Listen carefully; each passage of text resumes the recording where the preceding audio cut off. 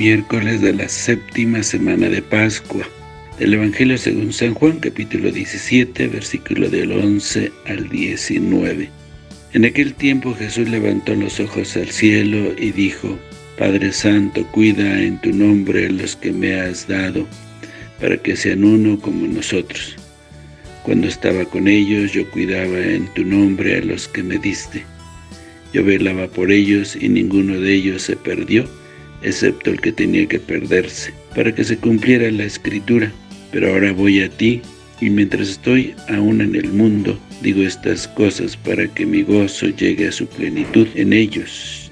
Yo les he entregado tu palabra y el mundo los odia, porque no son del mundo, como yo tampoco soy del mundo.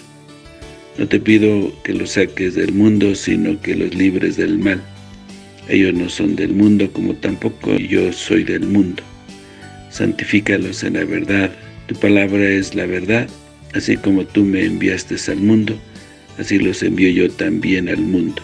Yo me santifico a mí mismo por ellos, para que también ellos sean santificados en la verdad. Palabra del Señor. Gloria a ti, Señor Jesús. Jesús en su oración al Padre se preocupa de sus discípulos y de los que les va a pasar en el futuro. Jesús pide al Padre que conserve a los discípulos en su nombre, es decir, conservarlos en una fidelidad dinámica, orientada a la plenitud y a la unidad con Dios, para que sean uno, dice, como nosotros. La unión con el Padre se realiza con la comunicación de su Espíritu. Los discípulos no pueden ser uno si no es a través de la comunión con el Hijo, por un nuevo nacimiento de Dios y por el amor. Igual que durante su vida Él los guardó para que no se perdiera ni uno, excepto el que tenía que perderse, Judas. Jesús sigue pidiendo al Padre que le guarde de ahora en adelante porque va a estar en medio de un mundo hostil. No te pido que los saques del mundo, dice Jesús, sino que los libres del mal. Ellos van a estar en el mundo como tú me enviaste al mundo, así los envío yo al mundo pero no debe ser del mundo como tampoco yo soy del mundo. El Padre había entregado los discípulos a Jesús sacándolos del mundo. Jesús les ha transmitido el mensaje del Padre, y esto suscita odio, como sucedió con Jesús. Entiéndase por mundo todo aquello que se opone a Jesucristo. La ruptura con el mundo no comporta, sin embargo, un alejamiento del mundo han de permanecer en medio de la sociedad, pues en ella han de vivir su fe, pero sin ceder a los halagos del maligno. El enemigo es Satanás. Ceder a la ambición y el deseo de, provecho personal llevaría a los discípulos a ser cómplice de la opresión. Se habrían pasado a la fila del mundo. Jesús quiere además que sus discípulos vayan madurando en la verdad. Santifícalos en la verdad, dice esto es comunicar el Espíritu. El Padre consagró a Jesús para su misión. Jesús le pide que consagre a los discípulos de manera semejante a la suya.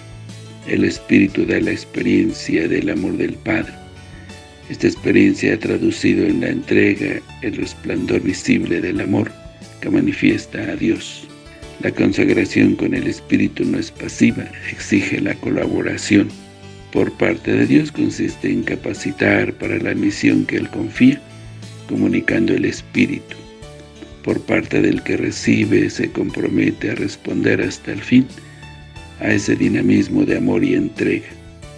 Su muerte, que permitirá la efusión del Espíritu, hará posible la consagración de los discípulos. El programa de Jesús para los suyos es denso y dinámico. Nosotros, sus discípulos, estamos en este mundo concreto, el que tenemos que saber ayudar. No pedimos ser sacados del mundo. Es esta nuestra generación a la que tenemos que anunciar el Evangelio de Cristo, con nuestras palabras y sobre todo con nuestras obras. El Vaticano II exhorta especialmente a los laicos a que estén más sumergidos en el mundo, pero también los religiosos y los ministros ordenados. Eso sí, se nos encomienda que no seamos del mundo, o sea, que no tengamos la mentalidad de los que se oponen a Dios.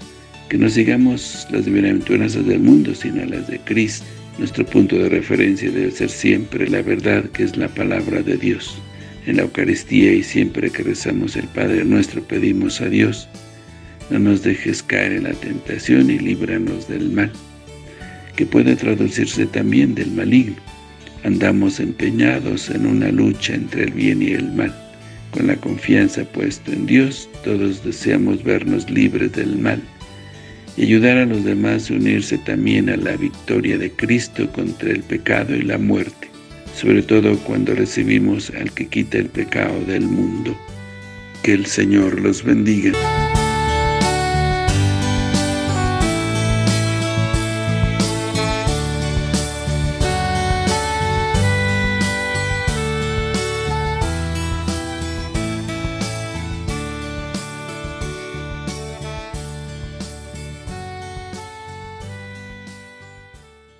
La bendición de Dios Todopoderoso, Padre, Hijo y Espíritu Santo, descienda sobre ustedes, que los acompañe siempre.